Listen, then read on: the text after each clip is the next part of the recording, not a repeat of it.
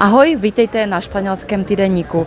A já vám dnes chci ukázat, jak se dá nasnídat dobře a levně ve Španělsku a ne jako turista, jako normální člověk, který tady žije. Ať už sem jedete nebo Jenom ze zvědavostí já vám ukážu velice dobrou snídaní, typickou španělskou. Půjdeme do normálního baru, který je pro lidi, kteří tady bydlí. Eh, hodně Španělů chodí na snídaně do baru, protože jsou levné a oni chtějí být mezi lidmi. Takže pojďme se podívat na takovou klasickou, typickou španělskou snídaní. Takže teď navštívíme tady tenhle bar. To je takový bar tady ve čtvrti, jsme ve chodil se. Takže dcera si objednala tostádu, to znamená, to je vlastně opečená bageta a jenom s olivovým olejem. Potom je možné si to objednat eh, s rajčetem, to je takové podrcené rajče na tom, a nebo se šunkou, nebo také vám na to můžou dát eh, tuňáka. A za chvíli vám řeknu, kolik taková tostáda stojí. A objednala si k tomu džus. Bohužel tady v tomhle baru nemají čerstvý džus, ale ještě oběhneme i jiné bary, abychom, abych vám ukázala ceny. Takže tady v tomhle baru bude jen ta tostáda s olivovým olejem a džus.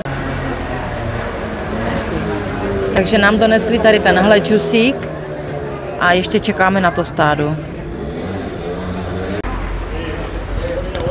Tak tady už máme snídaní kompletní, takže takhle vypadá ta tostáda, vlastně je to taková bageta opečená a k tomu je olivový olej, ale můžete si k tomu dát, co chcete, jak říkám, šunku nebo to rajče a s tím čusíkem.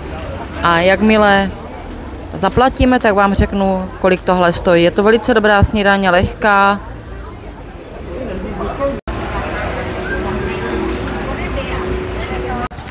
Takže v baru jsme nechali za ten džus, který jste viděli, a za tostádu 2,90. Tak, teď půjdeme do druhého baru. Já vám ještě ukážu, jak vypadá asi tak to okolí, abyste si udělali představu. Protože říkám, není to turistický bar, je to bar tady, kam chodí lidi, kteří chodí do práce nebo kteří si chtějí pokecat tady venku obsluha rychlá, příjemná.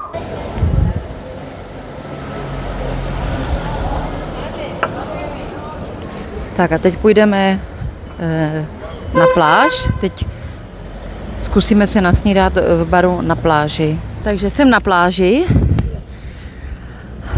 a půjdeme se nasnídat tady do tohoto baru a uvidíme, jestli je tady velký rozdíl cenový mezi turistickou vlastně oblastí, nebo ona turistická Viděchoďosa je celá turistická, ale normální město a takhle to čtvrtě nejsou turistické, že tam turista nechodí, takže sem chodí turisté, takže my se podíváme, jestli je velký rozdíl mezi tím, kam chodí turisté a mezi tím, kam chodí normální běžní lidé, kteří tady bydlí. Takže podívejte se, my jsme tady,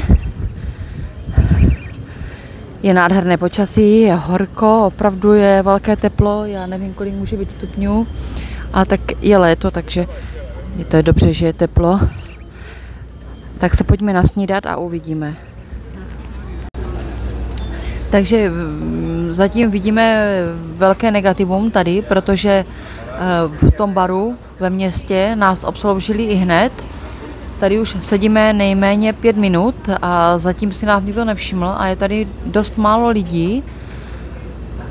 Tak uvidíme, jak dlouho tady vydržíme, pokud nás nebudou obsluhovat, tak se přesuneme jinam.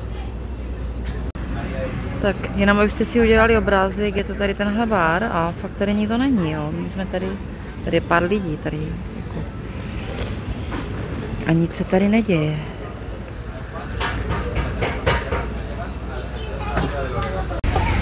Tak po dalším čekání si nás konečně tady klub všiml a nemají tady eh, ten fresh a je tady daleko méně lidí než v baru ve městě. V bary ve městě jsou plné lidí, ty předzahrádky, tam kam chodí ti normální lidé, ne ti turisté.